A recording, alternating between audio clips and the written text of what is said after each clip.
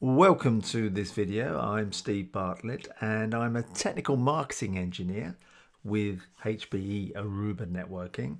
And this video is centered around the use cases in the data center with the HPE Aruba CX10000 switch, which is natively DPU enabled to distribute intelligence to the data center network edge.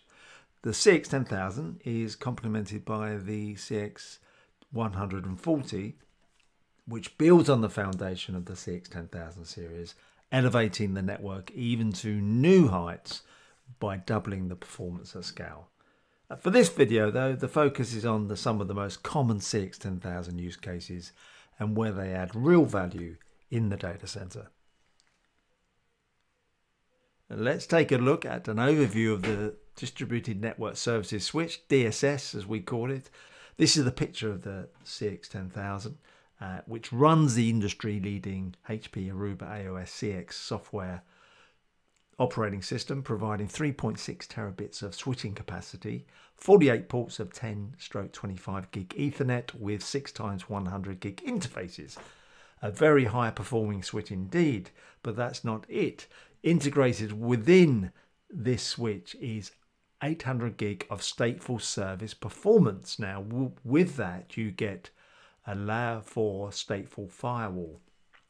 Embedded DDoS, uh, distributed denial of service protection, that is with every switch. Firewall logging and IPFIX telemetry are all native as well to this switch.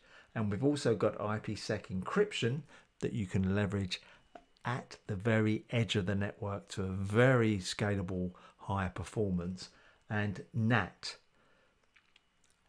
and as I will explain in the up and coming use cases, you will see it is a great fit for the modern data center. So let's take a look at the first use case. So this is with a spine leaf fabric supporting layer 2, layer 3 VXLAN. In this illustration, I've just got two spines, but it will scale out to more spines it's just for illustration purposes. And we've got CX10000 in VSX switch pairs at the top of rack and also we've got a VS, VSX uh, 610000 switch pair on the border leaf and obviously connecting to our top of rack leaves we have our virtualization server layer connecting down into our top of rack now what does this mean we've got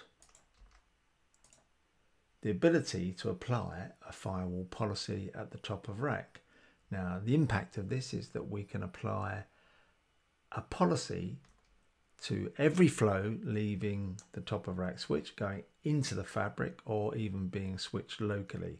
So in this example, we've got a we've got a flow leaving our top of rack switch and we can apply an egress policy that's flow that's effectively a policy for traffic leaving the host and when it arrives at its destination top of rack switch pair we can then apply an ingress policy. And we can do this for every flow uh, from the source and destination prior to and from it entering the fabric.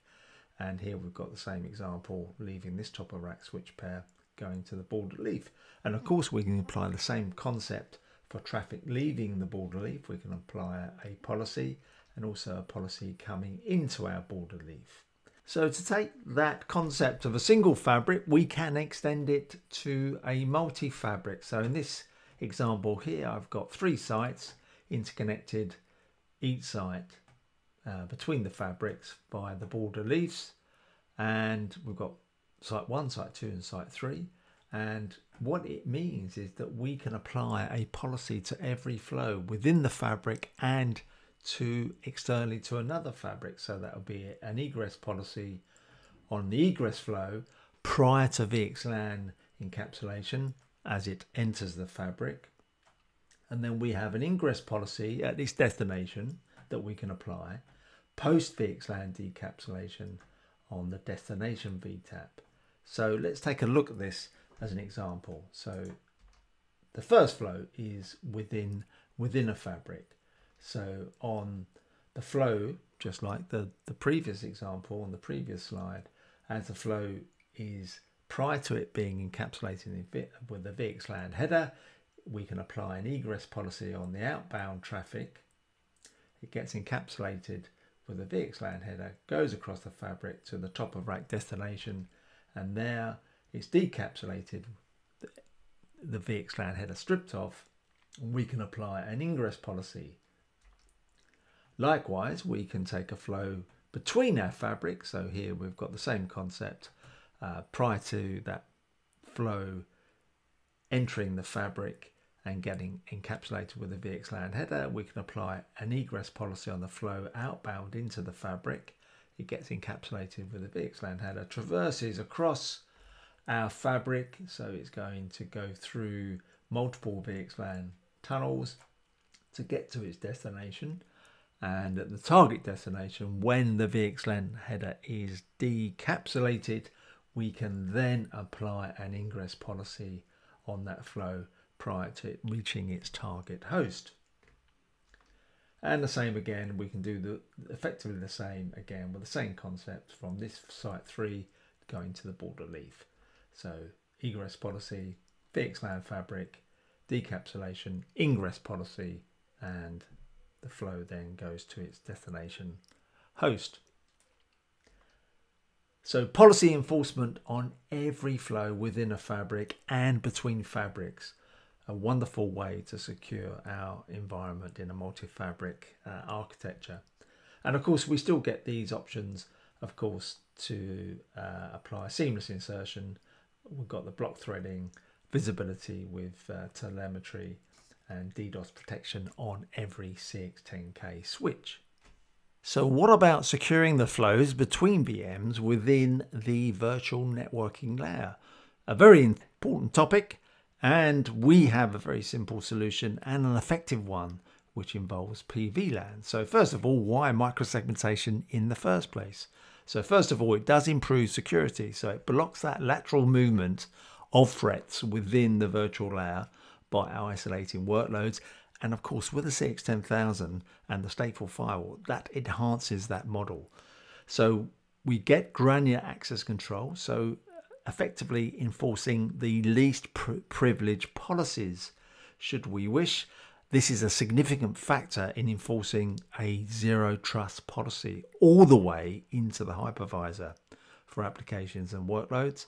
And the threat containment, always very important. Blast radius is reduced and of course, this is going to be essential for regulatory compliance. So, with the firewall inspection on the CX10K, we get 10K, we get a granular access control with visibility of flows impacting sensitive workloads. So this will obviously um, assist in cyber threats and effectively it's very easy to configure and manage using PVLANs. So if we take this example here, we've got isolated VLAN host 1, isolated VLAN um, host 2. Normally there would be uh, be able to communicate between each other if they were connected to a virtual switch, but we put these on these isolated VLANs and then their communication path must go through to the top of rack switch where we can put the firewall policy on to manage that flow between the two hosts. And effectively, we get that microsegmentation between our workloads this way. So to expand on this theme, we've got microsegmentation with other hypervisors. So just to recap on the solution itself, we've got isolated VLANs, PVLANs in our virtual environment. We drop our hosts into those isolated private VLANs.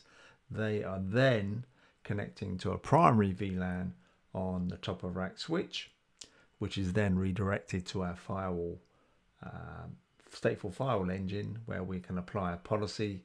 And with this, we get that tromboning of traffic and a stateful firewall policy between our hosts. So we've got support for vSphere and Hyper-V where we can apply that granular policy between microsegmented hosts in the virtual layer. We've also got the same or the same capability, but in a different way with the um, integration with VME, uh, the, the HPE virtualized uh, hypervisor solution, and the CX10000. It's actually using MACTAP to force traffic down into the top of rack switch, but still effectively the same outcome. We've got micro segmentation between the two hosts. And the last one is on bare metal servers. Now, bare metal servers, you've got really two options really. You can have the um, the bare metal servers connecting to a standard VLAN port on the same VLAN on two different ports and just applying a firewall policy to permit or deny the traffic between those two bare metal servers. But you may want to block broadcast and multicast traffic because that still will get through. It will just stop the unicast traffic doing it this way. So if you actually want to prevent the uh, multicast and the broadcast traffic to go through, then you can use optional PVLANs to support that. So moving gears now, where we are looking at encrypting traffic between a central site and a remote site. In this example, I've got two data centers connecting together. And what we're doing is effectively uh, encrypting traffic across the wide area network between our two sites. And effectively, we've got traffic profiles coming from our border leaf going across, uh, sorry, from our leaf to our border leaf across our VXLAN fabric. And then it's encrypted to go across into our um, target site where it be decrypted and then forwarded onto its destination host across the VXLAN fabric. Now, there may be lots of different reasons why we'd like to do this. It could be live backup replication, disaster recovery data, healthcare records, PCR related data, or confidential business data, of course, that just needs to be covered and encrypted as part of compliance so our preferred option is to use BGP over IPsec tunnels. This is for dynamic routing updates and getting mesh tunnel connectivity for resilience, but we do have other options for it. So the bandwidth throughput is amazing. So we've got up to 540 gigabits per second per distributed service switch, supporting up to a max of 1000 IPsec tunnels. It's a very, very scalable solution uh, with very high throughput. And we do have more options for IPsec. So let's take a look at those. So the first one is, let's get that up, an active-active mesh IPsec tunnel arrangement. So here we've got an office or a branch. Maybe it's a relatively sizable office and branch. It's got two uh, termination points connecting down into our central site. Well, here, this can be a CX10000 or it could be a third-party device. So all the all we ask of the third-party device is to port standards-based IPsec, and you can insert that in at the remote end. So here I've just got uh, two devices, and we can have IPsec running across our mesh tunnels, if we're using the CX10000 running uh, BGP over IPsec, this would be a particular model that would be a preferred way of doing it.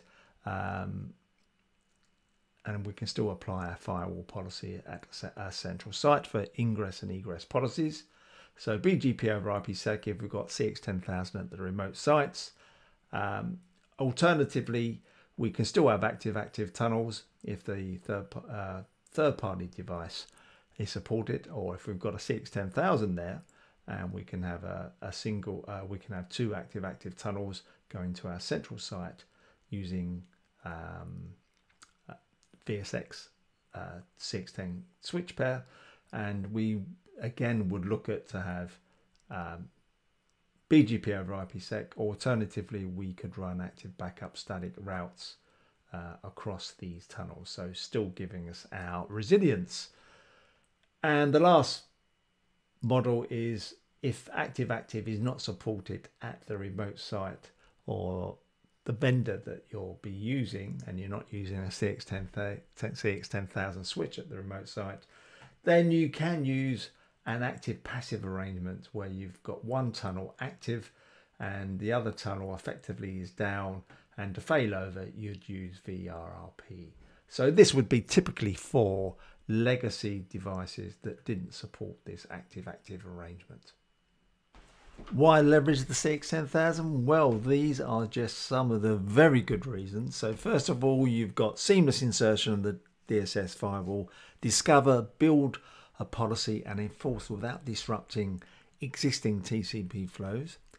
Gain visibility into network traffic supporting proactive identification of threats and issues and then block unknown threats and known threats and unauthorized access for all east west traffic flows. That's every flow that you can manage in that way. And also this inbuilt DDoS protection, reducing the attack surface of DDoS related attacks, and that's inbuilt embedded natively on every CX10000 switch. And you can find out more about the HPE Aruba Networking CX10000 series by following this link. That's all I had for you today. I do thank you for tuning in.